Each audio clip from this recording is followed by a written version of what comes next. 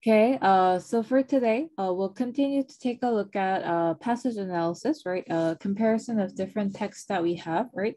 And so uh, first of all, text A would be based on a story of a father that we have, a story of a father uh, sort of writing to his own daughter about the experience of uh, becoming uh, her father, right? Of becoming a father, uh, sort of uh, the uh, father, uh, the leader of the household in certain sense, right? And uh, we'll take a look at text B, which would be more cartoon based that we have. Uh, also a story of a father that we have, uh, one a narrative and a cartoon, right? A version of it, right? That we'll be reading through and we'll try to analyze some of the effects of each of the medium, right? Uh, that we'll be taking a look at uh, in this uh, sort of video, right? That we'll take a look at, right? And then the second pair we'll take a look at about permafrost or, or a science article, right? That we'll be taking a look at, right? Okay, so let's, uh, much ado, let's go uh, straight into uh, the article, right, that we have. Uh, so as we see, right, uh, text A, uh, let's uh, read through it, right, as a class, right, a story of a father, right, to his daughter, right, that he'll be writing to. So let's take a look. So uh, uh, Sata, uh, becoming a father transformed me in ways that I could never have thought possible. I could never go back to being a person I used to do before. I used to be before. Uh, your arrival in my life brought an unimaginable joy and a large responsibility. I was no more just a husband, a son, or a promising employee of a fast growing company. I was a father who had to measure up to the expectations his daughter would have of him at every stage of her life. Your birth raised the benchmark of my life in every aspect. My interactions at the workplace became more thoughtful and measured. The quality of my transactions with the with the outside world more considerate, dignified, and mature. I felt the need to deal with every human being more sensitively and cautiously. After all, someday you would grow up and understand the world around you, and I didn't want you ever to think that I had done anything even remotely wrong.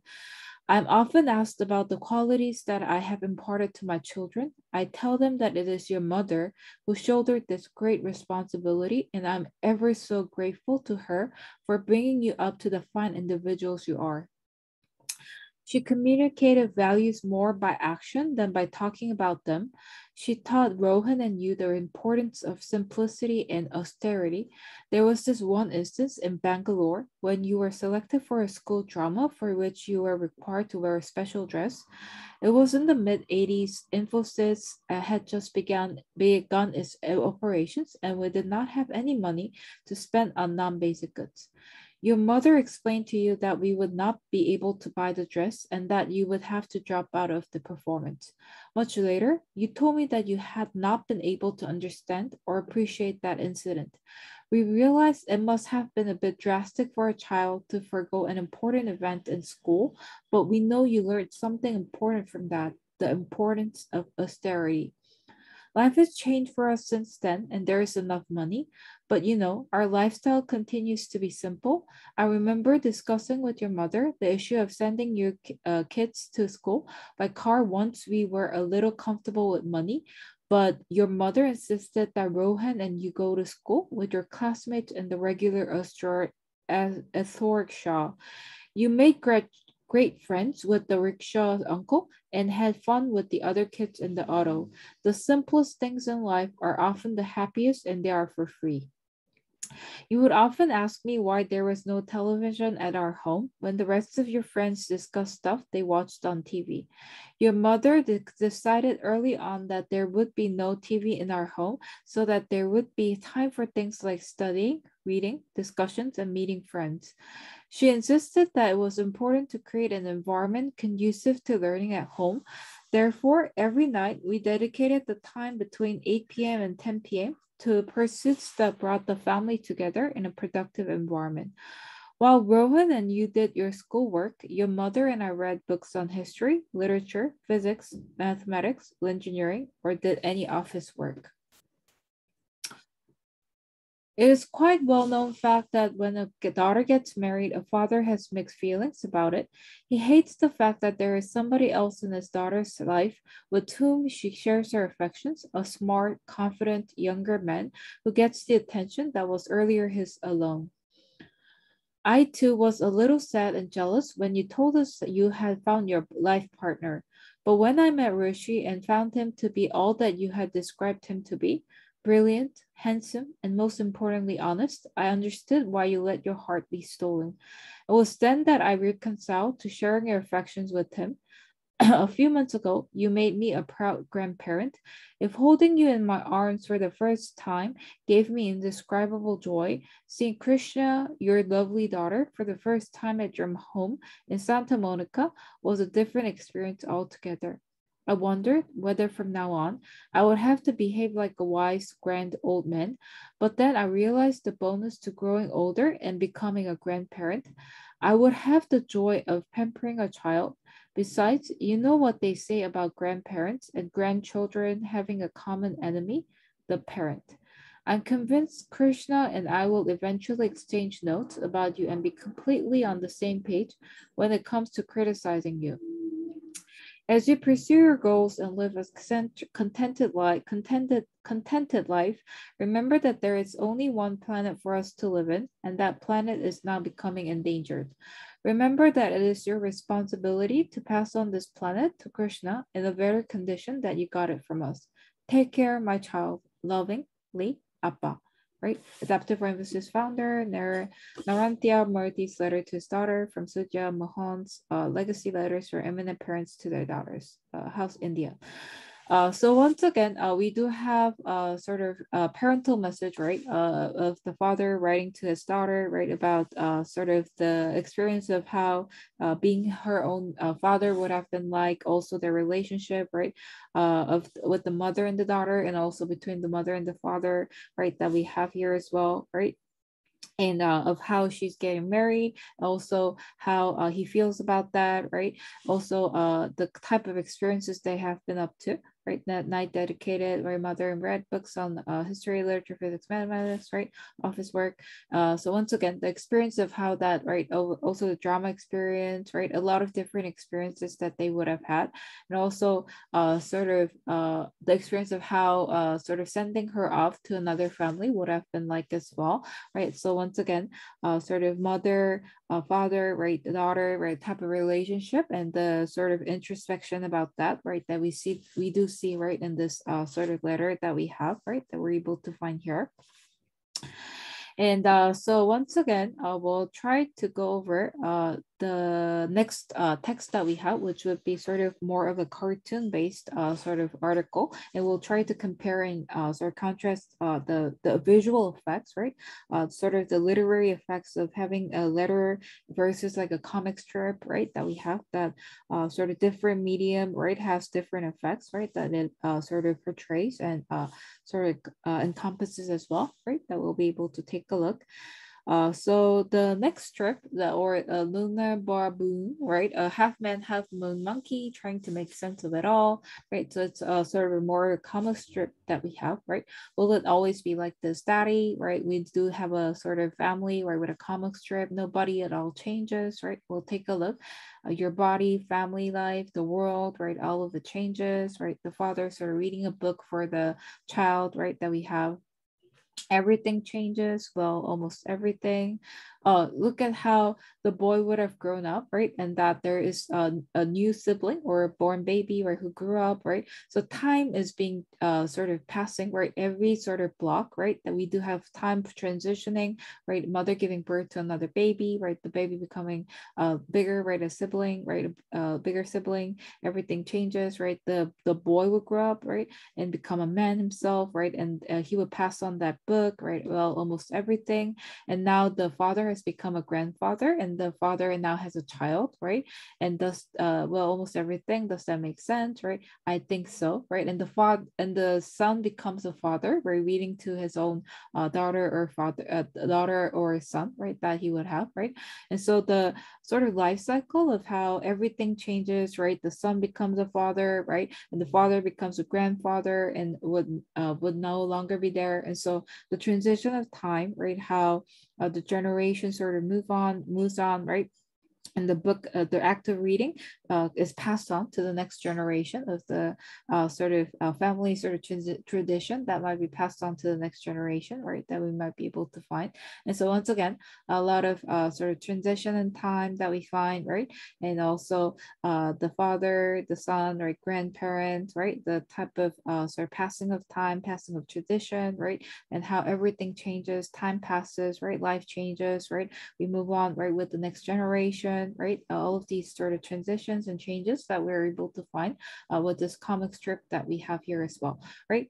So it's uh, sort of different effects that we do feel here as well of uh, sort of pathos of feeling uh, triggered through the visual effects or the visual sort of representation of these figures that we have, as well as uh, the narrative, which would be sort of more letter uh, based, right? A lot of the sort of pathos also in those uh, sort of type of language that we have, but also uh, comic strip also also has a type of specific type of effect that it has, right? With the visual elements that we're able to see of the father, grandfather, right? The son, daughter, right? And sort of the passing of time, right? Also of the generation that we're able to see as well. So different effects that a letter would have and a comic strip would have, right? That we were able to see of the visual uh, sort of uh, and uh, sort of more uh, so language based, right? Uh, is uh, more sort of sort of uh, uh, uh, sort of uh, conventional sort of type of writing that we're more used to, right? That we may be able to find, right? But the different type of effects that a letter and a comic strip that each of the medium would have, right? That we're able to sort of think about uh, in these sort of pair of texts, right? That we have here as well, right? Uh, so the next article that we have would be on the topic of the uh, most northerly town in the world is a risk of disappearing, USA Today, right? A news article that we have. Whereas the next article that we have would also be based on permafrost, the, the topic of permafrost, and we'll try to compare and contrast these sort of two articles, right? That we'll be taking a look at uh, in this particular video, right? That we have here today as well, right? So uh, how about we read uh, together, right? As a sort of uh, uh, as a class, right, that we'll be taking a look at. The article would read, uh, the most northerly town in the world is at risk of disappearing, right? The article would read.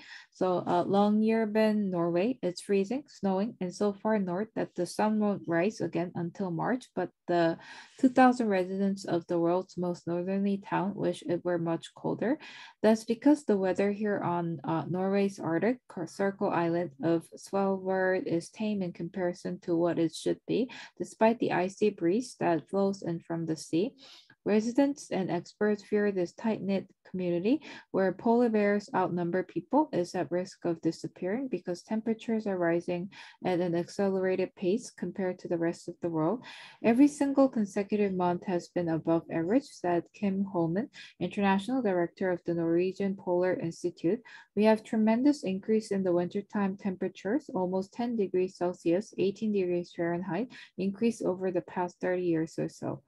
Wherever I look, there is a change, very obvious change. The snow melts early in the spring. The glaciers are diminishing by a foot, two feet per year in thickness. Holmen said from the Svalbard Science Center in Longyearbyen, it influences life, it influences the landscape, and it influences the people, of course. Melting permafrost and higher temperatures have caused havoc here in recent years, triggering sometimes deadly avalanches on the steep mountains that flank the town. Houses have been destroyed while roads in some areas have been closed or declared unsafe to live because of the risk. Within the past uh, two years, hundreds of residents have been affected, some having to evacuate from their homes. Mark Sabatini, 949, a local journalist and Longyearbyen resident, said he lost his apartment because the melting permafrost created dangerous cracks in the fountain. Sabatini, who is originally from Alaska, said he is now bankrupt. We lost the uh we lost the uh, whole value of the apartment with no insurance compensation or any compensation. We had people who were left broke and had to leave the island. People like me who've been left bankrupt and living off uh, borrowed funds and begging, literally begging at times for just barely enough money to stay alive, an emotional Sabatini said. Mark Sabatini, a local journalist has, journalist, has lost his home and is now bankrupt due to melting permafrost. In front of him sits the alternative English language newspaper he publishes. The region was seeing an amplification of global warming. Arctic climate expert David Barber of the University of Manitoba told USA Today. He warned that projections predict profound effects on the physics, biology, uh, geochemistry of the Arctic. The consequences won't be confined to the Arctic. Melting ice sheets from the north have the ability to influence ocean currents that also help control the climate further south. Longyearbyen, a former mining town established in 1906 by American businessman John Munro, Longyearbyen has diversified its economy in recent years, profiting from a uh, adventurous tourists as well as researchers studying the Arctic. The changing conditions could put these newer economic developments at risk. At Scott Turner Glacier, where we do our ice cave tours, we see from year to year how fast the ice is melting. So Martin Monk, uh, founder of the Green Dog Tour Company in Svalbard, in worst case scenario comes and there is no snow during winter, I doubt anyone would like to live here. No tourism and four dark months with no light reflecting white snow and no way to go on out on tours. Yeah, with the annual average temperature of Longyearbyen uh, expected to reach above uh, freezing in the next year or two, a phenomenon never been never seen in the town's recorded history. There's frustration and anger. Men has uh, changed the atmosphere Holmen lamented. There are many people I hear now who are discussing uh, moving down to mainly mainland Norway, but Longyearbyen is still a place that many newcomers find extremely attractive and many fall in love with it. It is resilient. USA Today, Gannett USA Today. So once again, uh, sort of uh, how permafrost has caused the uh, place to disappear, right? With the uh, sort of uh, newspaper article, right, that would have uh, sort of uh, uh, marked, right, a journalist, right, has lost his home, not bankrupt due to melting permafrost, right?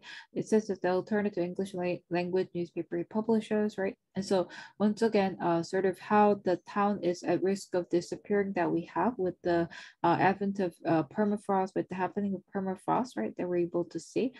Whereas the next article would be a sort of more of a scientific study about what permafrost actually is, right? Whereas the first article would have been the disappearing of the city.